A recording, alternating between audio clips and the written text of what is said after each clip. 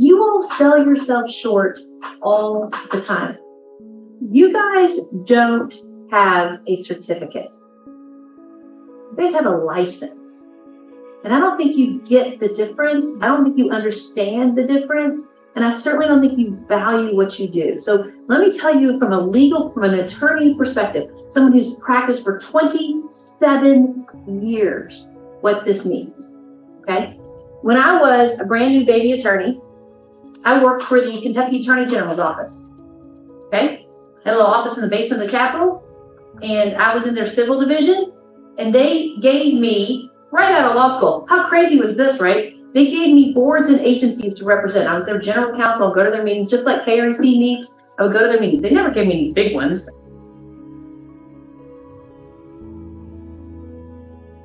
Okay, they give me like little ones. Um, and I didn't know what I was doing, but I had a bunch of attorneys that I could go ask, hey, what do I do? Right? And I did it all the time. Like, what do I do? What do I do now? What do I do now? So that was that was fun. And I learned this huge distinction that you guys don't know, in my opinion, you don't know this. Okay. So there were certification boards. For example, there's certified alcohol and drug counselors. And then there's licensure boards like real estate agent, and they have our real estate commission and um, medical licensure. Okay. Here's what a certificate means. A certificate means that you have achieved a certain level of education and or passed the test or some combination of the two. And because you did those, you get to call yourself a certified whatever. Okay? But other people can do that. They just can't call themselves a certified. The classic example. Lots of people can go out and do alcohol and drug counseling, but you can't call yourself an alcohol, a certified alcohol and drug counselor unless you're certified, unless you got the certificate on the wall. Okay? Licensure means it is illegal for anyone else to do this mm. unless they have that license. If I go in my purse, I don't have a knife, don't freak out. If I go in my purse and grab a knife and walk over here and cut Katie, is that okay? No, of course it's not okay.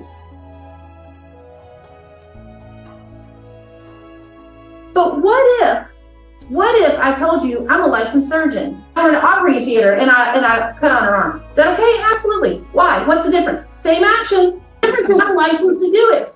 Okay, so now let's think about this for a second. Pretty darn cool, right? You guys don't have a certificate, you have a license. Why? Why do you think why do you think the General Assembly years and years ago said this profession, super important in every state, by the way, not just ours, that, that this needs to be licensed? Is it because one of the guys in the General Assembly had a brother-in-law who was a realtor and wanted to make sure that he had business? Is that what it is? No.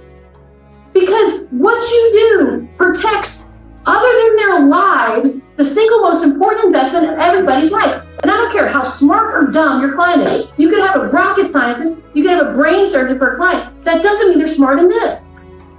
And what you do is super tricky and super hard. And you don't have the advantage of seeing the transactions where agents aren't involved that I get to see, that blow up or, you know, never close or cost people thousands of dollars, or they buy something they shouldn't have bought. Why? Because they didn't have that. And everything that you do, which is super crazy hard, it's hard to get the license, it's hard to keep the license, you have to go to all these classes all the time. Everything's different, everything's changing. You got to keep up with all this kind of stuff.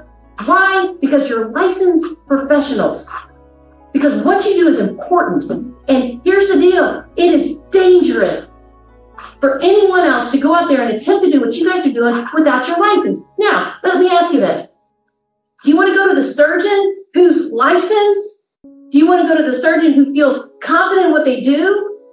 Who can look at their past track record and say, here's where we are, and here's what I've done, and here's my success stories? Or do you want to go to the surgeon who says, I don't know, man. I mean, I, I can offer it underneath for like, uh, you know, two thousand dollars. Okay. So here's the thing: if you walk out of here with one thing, you are not the cut rate surgeon. Don't be the cut rate surgeon. There was a reason why the state of Kentucky, the Commonwealth of Kentucky, elected to give you a license and not me a license. By the way, family, I got a law license, but I don't have a your license. Couldn't do it. So please stop thinking they're doing you a service by letting you sell their house.